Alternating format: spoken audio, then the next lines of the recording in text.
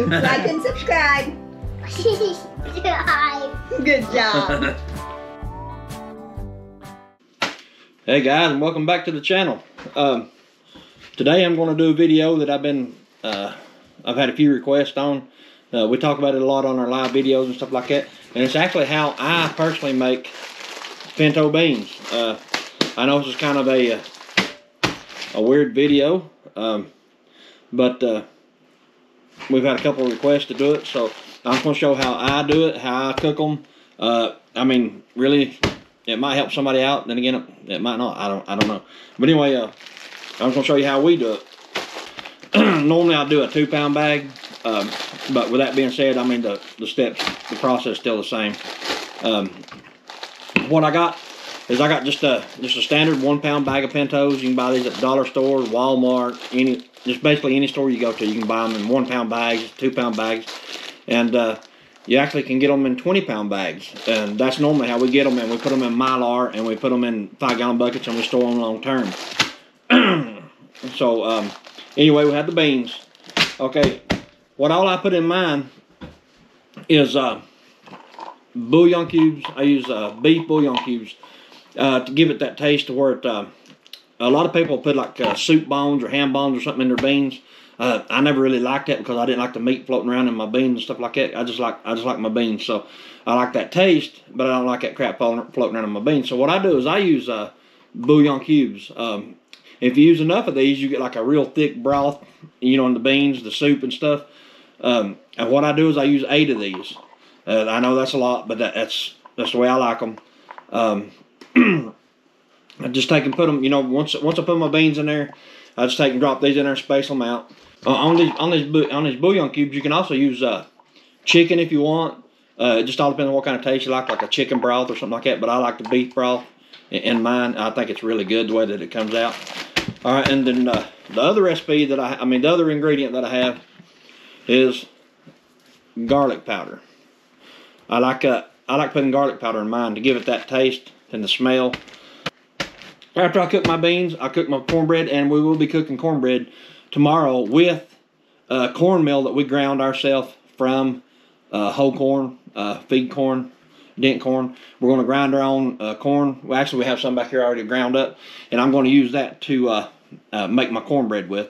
And we'll do that, you know, throughout, it'll probably in this video, so we'll show that too. And I'll show how the beans turn out, and I'll show the steps how I do it and stuff like that. And these right here are fresh ramps, straight from the mountains of western North Carolina. I cleaned them myself uh, anybody that knows what a ramp is, it's basically a wild onion, and uh, it's it's a different, it's a kind of a spicy like onion. Um, it's kind of hard to explain if you ever if you have never eaten one. I, I really don't know. Just oniony, like a spicy onion. Um, just wild. They're really really good. And being you know growing up here in the mountains and stuff like that, you'll know what a ramp is. so that'll come tomorrow. I ate, I ate those raw, just like that right there with my beans and cornbread. And what I do is I basically just tear my beans open and pour them in the strainer. We'll have a strainer inside my pot. Uh, I normally do this at the zinc, but I'm sitting over here to just show you guys on the camera here. Pour, pour them in the strainer.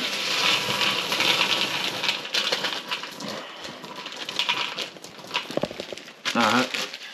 Like I said, I normally don't use a pot. It normally uses zinc, but there it is, just beans in a strainer. Now I'm to take some water here, just straight water. I'm just gonna rinse them off, get the dust and stuff like that off of them.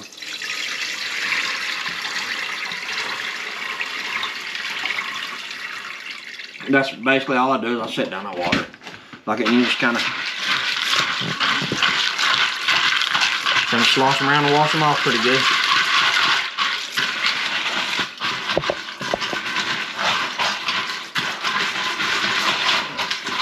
I mean, uh, these things, whenever you buy them, I mean, they could have little rocks in them, uh, all kinds of crap. You just got to watch and uh, anything that floats and you take out. So, and that's straight out of the store like that. So,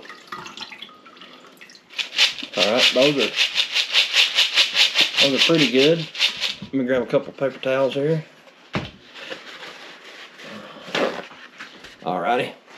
The water, they wasn't too dirty. They're a little dusty as all. That's normal. I don't see no rocks in it. Uh, normally you want to sift them a little bit, see if there's any rocks in there. anything you like, you see that you don't like, just toss it out.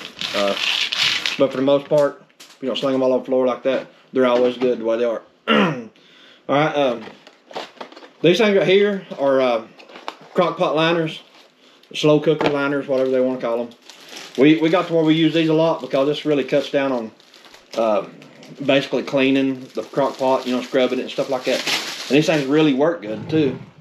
Uh, when you get done, I can just pick it up out there and your crock pot's pretty much clean. Just rinse it out a little bit. You just stuff it down in there and fold it around the sides. Basically, is all you do. Just like that. Alright, now I just take the beans and pour them in there. Just like that. Alright. Clean up my mess.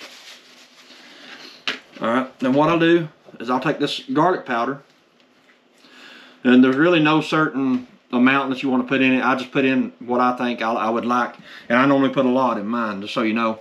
Uh, I just let it roll in there like that.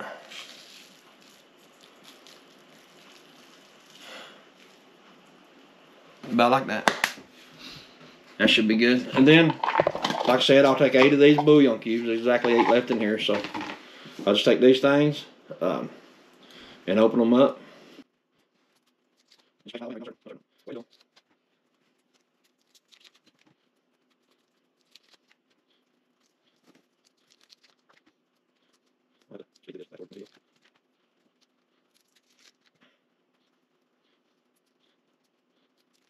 All right, here's the eighth one.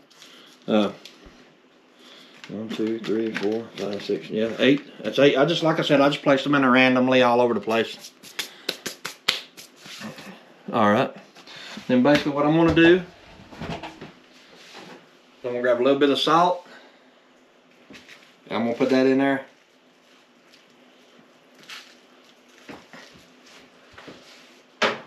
Alrighty. Then I'm gonna take this.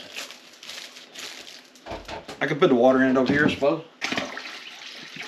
I normally fill it not all the way to the top, probably about half an inch or so down from the top. All right, put this lid back on the water, cap back on the water. Get that thing goes all the way in, just like that. Okay, just set it over here. And the crock pot. I guess I need to make sure this liner's kind of under it.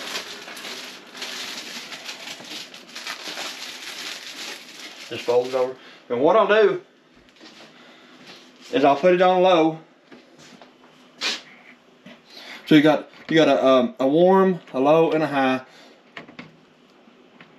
So what I'll do is I'll put it on low. And I'll let it sit here. Put the lid on, of course. I'll let this thing sit here overnight until we get up in the morning. Um, I always start mine of a night. That way, uh, then kind of basically just like warm and heat and soak overnight. And then in the morning when we get up, I'll come in there and kick it on high and let it cook all day to like three, four, five o'clock, whatever time we eat. Um, I'll let them cook, boil until it's time to eat, whatever time that is. So uh, I'll let them go to tomorrow evening to time for supper time or whatever. And uh, but you got to come in per periodically, stir them, you know, and stuff like that. But uh, anyway, that's uh that's basically how I cook them. Um, anyway, we'll come back tomorrow and uh, we'll make the cornbread with the the cornmeal that we ground ourselves from the whole corn that we have.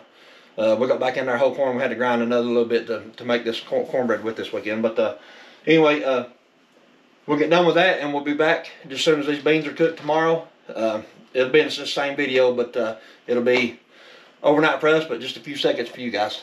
Anyway, uh, we'll be back. All right, while those beans are cooking, if you haven't done so yet, guys, uh, please hit that like and subscribe button. It'll help our channel out a little bit. Uh, if you like this kind of content, the uh, homesteading, off-grid, solar, uh, water ca rain catchment, anything like that, uh, anything that we do as far as animals, you know, stuff like that. If you hit, if you like any of this stuff, hit that subscribe button because we're all the time coming up with different things to do and uh, all projects that we have coming up this year, which we have a ton of projects coming up. But anyway, if you can, guys, please hit that subscribe button and we'll get back to the video. Everybody seen our WonderMill, how we grind our corn? Right there. That's how much we got left. We're going to refill this. That's whole corn. Uh, here it is, right here. That's ground that we have ground. This does have a little bit of uh, uh, popcorn in it too. Just what I'm going to do.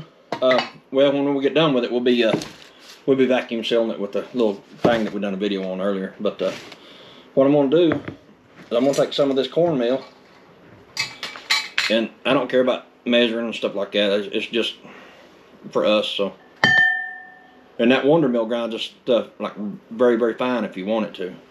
Okay, that's plenty right there. I have two eggs straight out of the chicken coop today, so get them in here.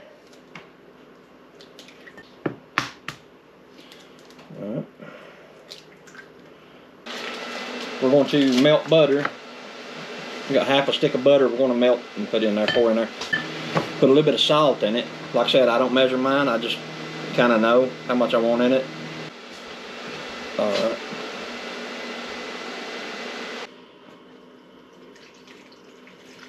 Pour some milk in here.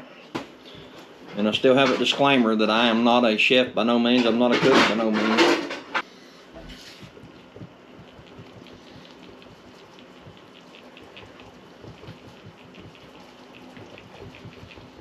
Alright, that's pretty good right there.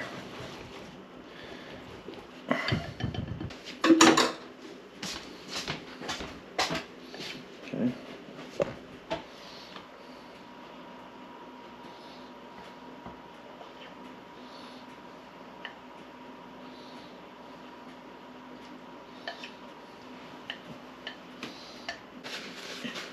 The oven's heating up. As soon as the oven gets heated up, we'll uh we'll put these in, and we'll come back when these are done, and I'll show you what the pinto beans all that stuff look like.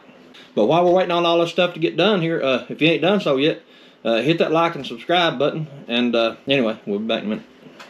Okay, guys, now that we got the muffin mix in the muffin pans, I'm going to go ahead and seal this jar back up. And put it back in storage.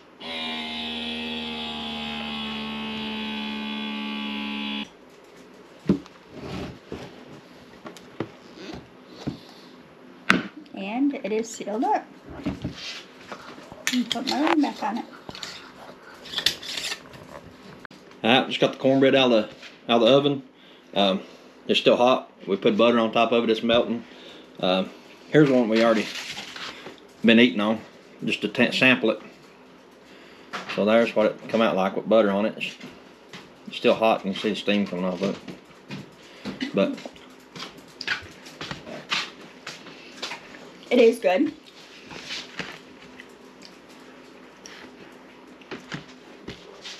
that is some good cornbread though. Mm-hmm. Anyway, And the ramps. and I cleaned these. Um, these are, like I said, any of you mountain folks out there knows exactly what that is. That's a ramp. I Ate them raw. I got the beans out. Uh, I ate mine. I try not to get too much juice in them. That's the way I do it. And then I basically eat cornbread with it. And I ate these ramps with it.